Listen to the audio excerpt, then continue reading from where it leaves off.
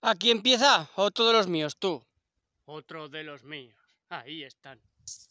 Hoy os voy a dar una clase teórica práctica, va. A la hora de la práctica. Ahora va a ser la teoría. Unos golpes, siempre hay que darle unos golpes, si os acordáis, para que exponen tú. Mira, ahí tenemos otra.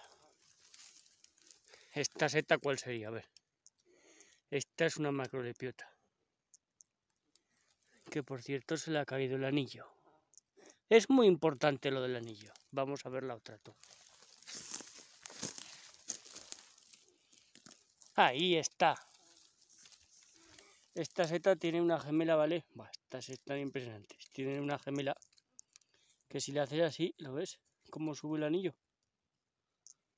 Pues si sube y baja el anillo, es que es una macrolepiota de la buena, de las que se puede comer. Luego está la, la macrolepiota, que es la mala, que es más pequeña y el anillo está totalmente pegado, ¿vale? Y entonces esa te revienta por dentro. Mira qué ejemplar es tú. Esto es Argamasus silvestrus, ¿eh? ¡Me cago otra! Ahí está.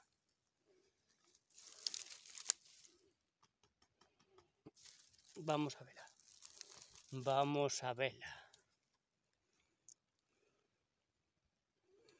¿Veis? Esta también lo ha perdido el anillo. Pero claramente se ve que es de las buenas porque las que son malas, el anillo lo tienen tan pegado que no vale la pena. Ojo tú, qué, maravilla en un momento. Mírala cómo se agazapa. Entre los matojos. Y ahí tenemos otra, otra maravilla de madera. ¿Otra? Pues otra tú. Serán por macrolepiotas.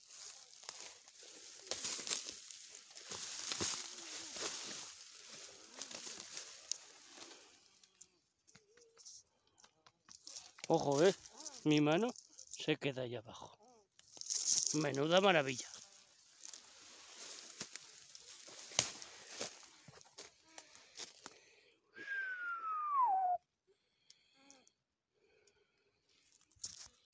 Alguna vez también habréis oído que a las macrolepiotas le llaman micrófonos. ¿Por qué le dicen micrófono? Pues por cuando, cuando son pequeñas. Me parece un micrófono tú. ¿Esto qué es? ¿Operación Triunfo? ¡Majágula!